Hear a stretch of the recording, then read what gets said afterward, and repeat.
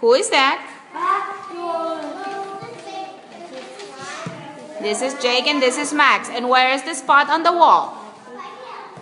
Okay. And what do you what do Max and Jake see in the spot?